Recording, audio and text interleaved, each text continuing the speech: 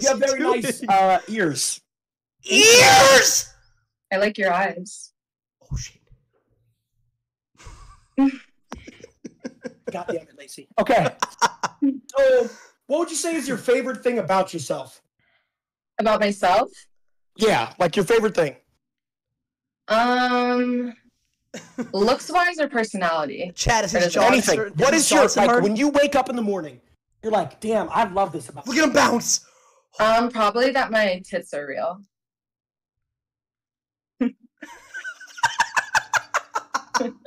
Where did he go? Where did he go? Uh, Jynxzi, are you good? Yeah, where are you? All right, Yeah. I did just nut on my pants. I'm just gonna be fully transparent.